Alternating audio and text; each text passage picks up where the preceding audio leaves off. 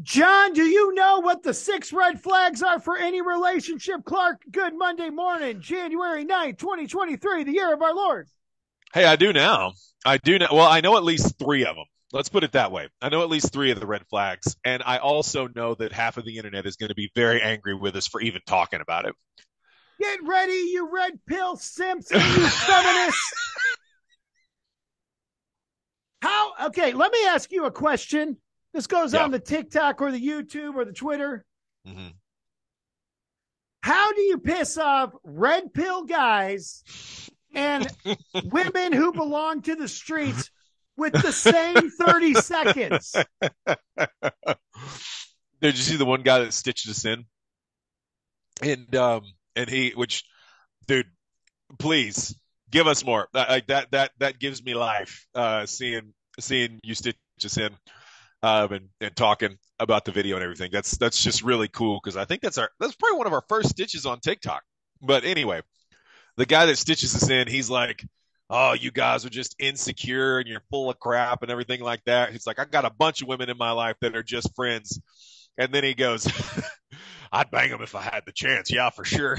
Like, dude, you just proved the point. Well, and then he You also we he also he also hashtagged it red pill, Right, right. Which you know I know more people who've been destroyed by the red pill movement than it's helped. And then we had a comment on YouTube from a guy who said, "Yeah, do you know how many women I have banged that were friends, and I just waited for their boyfriend to screw up?" Yeah, dude. Yeah. Take that, feminist. And then you know, Yeah. of course, you get the comments like, "Well, can't men control their urges or whatever?" Like, take it up with God. Can we control our urge? Absolutely. Absolutely. But what we're doing is we're waiting on you to open the, the door for us. So anyway, not we, not not me and Matt. No, in general. no.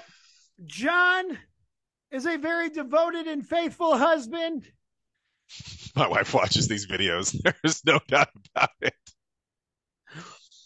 John loves his wife. He wants to do a whole show about her. I said no.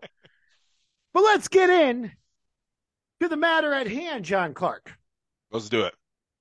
This article comes from Brooke Steinberg at the New York Post. Of course it does. New York Post. Look, I am wondering when the New York Post is just going to cut us, just give us the bag. Just give us the bag. cut us a check. Listen, I'll we're looking- tattoo. I- hey, we're right looking here. for we're we're looking for exclusivity, New York Post.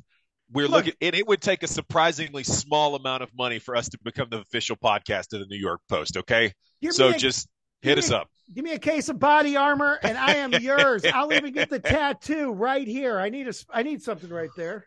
Anyways, Brooke Steinberg, my girl Brooke, wrote an article: the top six relationship red flags to look out for, and cheating isn't one of them. John Clark. Oh, okay. So our girl Brooke says, turns out a wandering eye isn't the biggest threat to modern cheek clapping love and understanding. Okay. There are six main red flags that most men and women see as deal breakers in romantic partners. And cheating and being from the streets isn't one of them. Okay. Research launched in 2015 and published in the latest edition of the Personality and Individual Differences Journal. There's a journal for everything, apparently. There sure is. There Looked sure at- is. Looked at 285 undergraduate students in the U.S. with an average age of 22. Okay, well, it's. Eh, I'm 41 years old. When you're 22, the world looks a little different. Let I'd just- say so. Yeah, say I'd that. say so. I'd say so. Participants completed two rating scales the mate value scale, a 22 item inventory of desirable traits rated by importance. Look, when you're asking 22 year olds what their desired traits are, I don't even know if they can get 22 items on that list. Right. list. Right. Right. And sociosexual orientation inventory, a rating of how open they were in relationships. This is going to be great. This is going to be. Listen, dude, that sounded like you just had a stroke reading that sentence right there. That did not make any sense. sociosexual orientation inventory okay. is a rating of how open they were in relationships. Mm, Okay. Got it. So the research is based in the University of Liverpool in the UK. British Ah, investigated the disillusion of romantic relationships and friendships.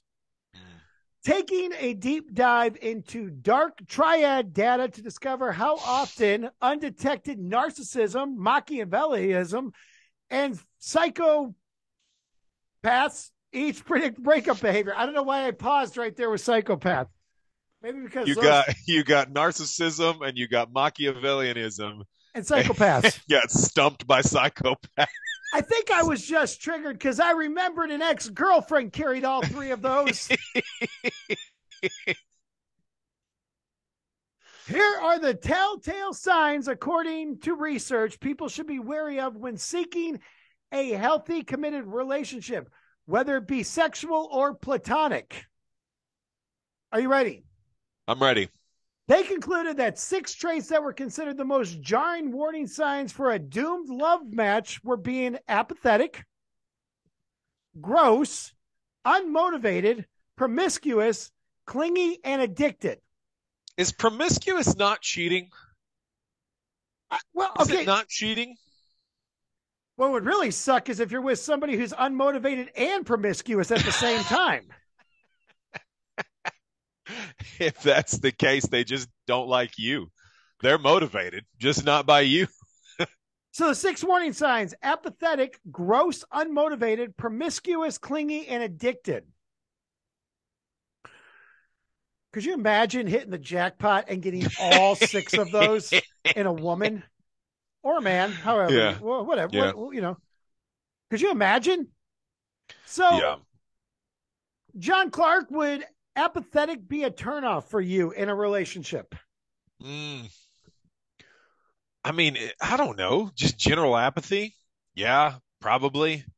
But it depends on what they're apathetic about because I'm apathetic about some stuff. I don't care about everything that happens every single day. Uh, no. So, Well, you know what know. that is. You know, you know what the apathetic is. It's Yeah, the it's the it's the male feminist.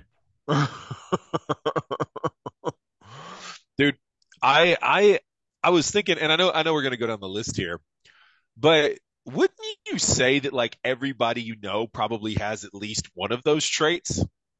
Like at least one, But at least okay, one. Okay, I know but- gross and promiscuity is kind of like way out there, but like apathy, unmotivated, that kind of stuff. Like, is that not just some people's general behavior, okay. human so DNA? the one thing that narcissists suck at is apathy. They don't have any apathy Yeah, for really? anybody. So they're talking about these traits being like narcissistic, but then a warning sign is apathetic. So I don't, I don't, Yeah. I mean, I don't know. Like, I guess, I guess it would be annoying if, like, I would never date somebody who was like a social warrior, regardless of what their opinion is. Like somebody who's Yeah. going to have like political bumper stickers on their car, one way or another. Like that doesn't, that doesn't really uh, Yeah. vibe with me too much. I'm not trying to attract that kind of energy into my life. Yes, we talk politics, but we don't pick sides. And we're not going to let the world know we pick sides because I don't want a brick through my window. Right. right. Yeah, It do- dude. doesn't matter. You're a Trump fan. You put a Trump Trump bumper sticker on your car. You're going to have like, I don't know, BLM throwing a brick through the window. If you're a BLM fan, you definitely going to get a Trump brick through a window Yeah. because Yeah. that's just how it goes. Number two on the list is gross. That's a warning sign for me. That Oh, would well, be sure. I mean, I guess define gross, right? Is it somebody who doesn't shower, doesn't take care of themselves? I mean, yeah, that's that's that's a warning sign for sure. Well, you know, for me, if uh if a woman is farting and burping, Not having it, huh? nope, nope, nope. That would be that would be a deal. I don't care how long I was in a relationship. If that woman starts, you know, not being able to control her bodily fluids, I'm out. Out. You go back to yesterday's episode. You better call that male orbiter to come pick your butt up from my house because you're out. 20 years. 20 years and Goes down the drain by one down fart. the drain. One Down fart. the drain with one. One fart, you're out. okay. Unmo- unmotivated. Yeah, that would be a red flag for me because, like, why don't you have any purpose or passion in your life? yeah. Promiscuous. Red flag for sure. Totally. Now, here's mine. I with. I don't know if a red flag is clingy. Me either. Well, see, that's why I was saying, like, I feel like everybody has one of these, right? And to a certain extent, and, and I guess it depends on how you define clingy, right? If you've got somebody who literally cannot live without you and wants to be around you 24 7, yeah, that's a problem, right? But like, there's a certain amount of clinginess in every relationship, I think, because you just want to be around that person, right? If you don't want to be a little clingy, I think something's probably wrong. Why would you want to be in a relationship or married to someone you don't want to be around? Right, exactly. Exactly. So I guess it depends on how they define clinginess. That's kind of open ended, to be honest with you. And then addicted, that's kind of an open ended one because you have people who are like, I would never date a smoker. They're so gross. And then they smoke pot Yeah, totally. Or Or- or or are heavy drinkers. or they're drunk all the time. yeah. Yeah. Or, you know, I mean, because like, like, are you addicted to the gym? Is that a bad thing? Right. Right. I think you can have positive addictions. Here's the thing. I think we're going to do an episode. We're going to call it date night. Okay. We, we want to help you simp males and you boss babe women how to become more attractive. And, hey, and you have to be single to be part of single night. All right. Don't be coming in here cleaning off your Instagram, taking pictures away of your spouse. Yeah. But the study considered how each red flag differed for long term and short term relationships, as well as between men and women. When it came to long term relationships, being apathetic, inattentive, uncaring, untrusting, and dismissive of interest was considered the biggest red flag for both men and women. In second place came someone being gross, meaning having poor hygiene, being unattractive, smelling bad, or having certain health issues like an STD. Okay. That's pretty gross. Yeah. Yeah. You know, uh, well, farting still takes the cake. Like that's still number one deal breaker for me. if she's got syphilis or if she farts, you're taking you're taking the syphilitic gonorrhea girl. Well, because I know that most women who fart probably do have the gift that keeps on giving, anyways, because they're slobs.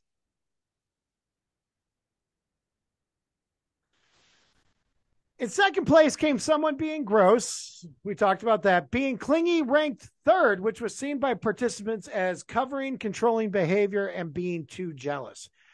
I liked a little crazy. You sure do. I like you sure crazy. do. Hey, you know what? Get jealous. Come on. Come on. Go fight somebody in my behalf. I think that's a great time. All right. I ain't going to do it. I don't fight people. But you want to get crazy?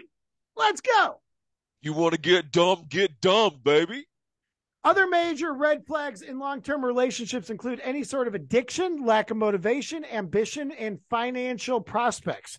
And lastly, being promiscuous, meaning having cheeks with or having dated many other partners. Oh, so that's a body count thing. Oh, okay. Okay.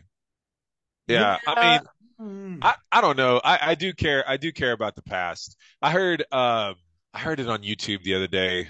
Um, somebody said something about how like women care about or care about men's futures, men care about care about women's past, and I, I think that's probably true to some extent. I don't know. It feels a little hokey to me because I don't know. To some extent, we all kind of have a past, but We're all washed clean by the blood of Jesus.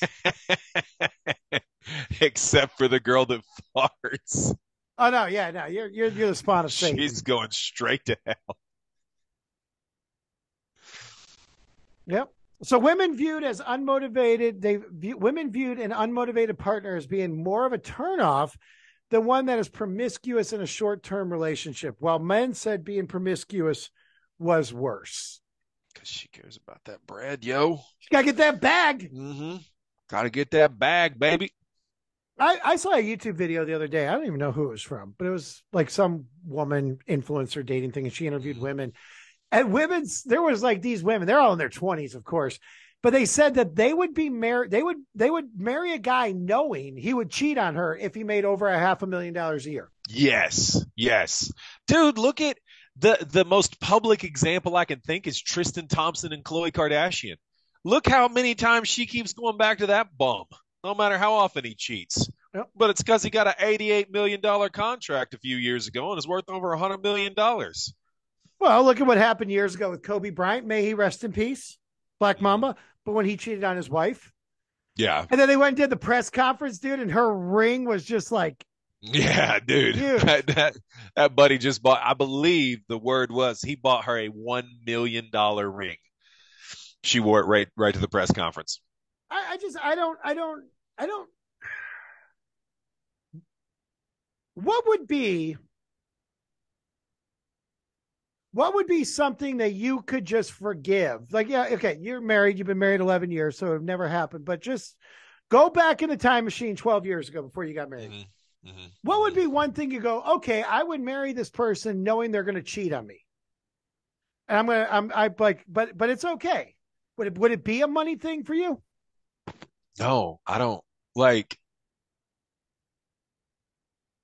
man, if if I man, there's I don't I, I literally can't get over that hurdle. If I know they're gonna cheat, I'm not I'm not getting married to them right because because it eventually for the guys especially it eventually becomes a money thing, right? right Like if you don't have a prenup, which most first marriages don't, especially if you're getting married young, right? Yep. Because nobody wants a prenup to because they don't want the other person to feel like that they're unloved or whatever. So anyway, so most first marriages don't have a prenup, which means that you know if you're getting in bed with a cheater and you know that she's a cheater or he for that matter, it's a 50-50 split when you guys get divorced. Maybe more so, depending on if you got kids or not. So no, dude, I cannot I can't think of because you know like dude, you know how how how how much of a miser I am. Um and and I, dude, I'm I'm not making a decision that's going to hurt my money. No, you wouldn't. John Clark loves money so much he likes to take uh he likes to put a 20 in the collection plate and make change at church. Pulls out $19. I have never. Here you go, God. There's your one there's your one dollar. Do you want more? Make me prosper more. Yep. Listen, I've been watching TBN. I gotta I gotta I gotta tenfold my 20. Myself a wife too while I'm at it. No, but I mean, I think, I think like a lot of these women, um, they know going in, whether it be with a Tristan Thompson or an Adam Levine or something like that, they know that that's the end. That that's not even the end game. Like that's the halftime report of a relationship. It's like, oh, he's going to cheat on me when he's on the road, but they don't care because look at the life they get. Yeah, yeah. They get this big old bread basket. And and and and the guy's not going anywhere. He's not going to divorce him because he knows how much money it's going to cost him. So Uh, she she wants to stay and be cheated on. He's going to stay and let her. Uh, so so there's a uh, if if y'all remember the country artist Rascal Flat, and in full disclosure, these people have been my friends, but it's out there now. It's public. So Joe Don Rooney and Tiffany Fallon. Joe Don was the guy in Rascal Flatts. Tiffany Fallon was the former playmate. I think she was on The Apprentice. They're now going through a very messy divorce. Okay. Okay. Last uh, 2021, Joe Don was drunk in Nashville, ran his car into a tree, starting to look a lot like Rand Paul. Which, come on, buddy, we got to work on that. So they're going through a divorce. Mm. So Joe Don says about Tiffany Fallon, oh well, she's like the reason why our marriage failed is because she's cheating on me with the trainer, and she was. She comes back, by you know, via publicist, of course. Uh, well, I'm only cheating because of your addiction, and I'm like, you're both like just sitting here right now, admitting for the world to see that you're cheating, but you're going, hey, you know what? It's okay because you're a drunk. You're, you're the dude. It's like a snake eating its tail, man. Yeah. It's just, it's just an endless circle of crap. Nobody So- wins. So Nobody I saw that and I was like, okay, like you just admitted you're cheating, but it's like, oh, well, it's okay because he's a drunk. Mhm. Mm, Totally. If he wasn't running into light poles, I wouldn't be driven into the arms of my trainer. Bro, that dude, I mean, I know the road that he ran off, like, because it's about 10 minutes from my house. Mhm. How, that's impressive. You you got to be so drunk to like get your car over where it was. But I don't know, like what do you have going on in your life these days? Like your band's over and you look like Rand Paul. I would drink too. Never going to get back the glory days. He was a beautiful man at one point. Now he's looking like Rand Paul. Kids, that's what alcohol will do to you. Uh, bro, uh, all the guys in Rascal Flatts were beautiful except the lead singer, right? Oh, like the other two, the other two always- were. He was Gorgeous. always a mutant. The guy who had the talent, who had the voice, he was right. The only reason he was in the band is either he had money or you know, or he had money. Because the other two guys were like beautiful, and then you got the test tube baby. Apparently, he's a very nice guy, but Yeah. Yeah. I'm just saying.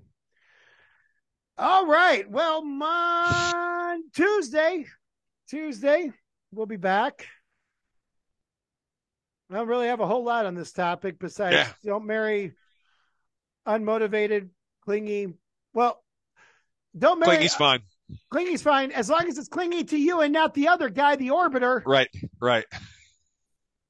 the one she's promiscuous with. She can't be a clinger. Anyways, therants.com. We're going to go live sometime this week. Yeah. Sometime. Maybe on Maybe TikTok, tomorrow. Maybe Wednesday. Maybe? YouTube, TikTok. But, you know, then you can come heckle us live in person, Kelsey. Do it. Do it. Therants.com. We'll see you tomorrow.